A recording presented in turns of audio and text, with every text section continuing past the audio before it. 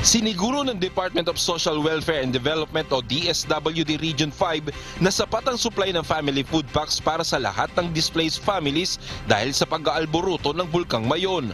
Ayon kay DSWD 5 Regional Director Norman Laurio, magkakaroon ng limang wave ng distribution ng family food pack. Ang unang labing limang araw ay sa DSWD manggagaling ang mga family food pack. Habang ang susunod naman na anim na araw na supply ay sa pamahalaang panlalawigan manggagaling. Sa ngayon, nai-distribute na ng DSWD sa mga lokal na pamahalaan ang panglabing limang araw na pangangailangan ng mga displaced family para sa food at non-food items. So, mismo si Secretary nagsabi by waves ng pagbibigay ng food packs. Ah, kaagad nating ibinigay sa mga mayors yung good for 15 days na napagkain. Walang magugutom na mga affected families dito sa ah, ah, Mayon Volcano Unrest, itong pag-aalboruto ng Mayon. May sapat po tayong pagkain, may sapat po tayong non-food items Sa pinakahuling ulat na inilabas ng DSWD-5, mayroon nang nasa humigit kumulang 220 million pesos ang standby funds ng ahensya.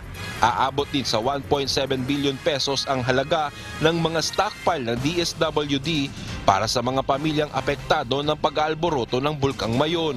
Ang nasabing pahayag ng opisyal ay sagot sa nakarating na impormasyon sa tanggapan ng DSWD na mayroong mga displaced family na hindi pa rin nabibigyan ng ayuda.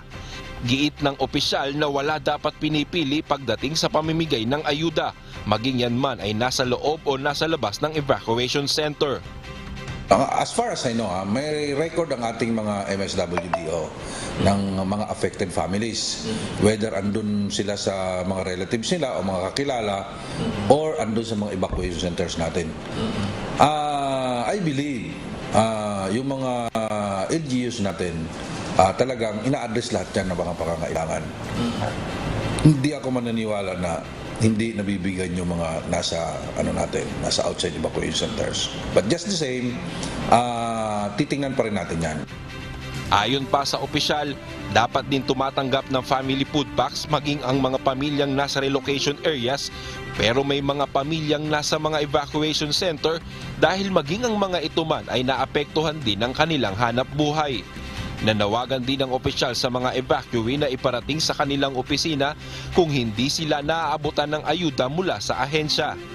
Samantala ayon sa opisyal, tuloy-tuloy din ang pagdating ng tulong mula sa government and non-government agency para sa mga pamilyang apektado ng pag-aalboroto ng Bulkang Mayon. Diyos ang aming sandigan, serbisyo publiko ang aming pinahahalagahan Brian Baldarahe, humahataw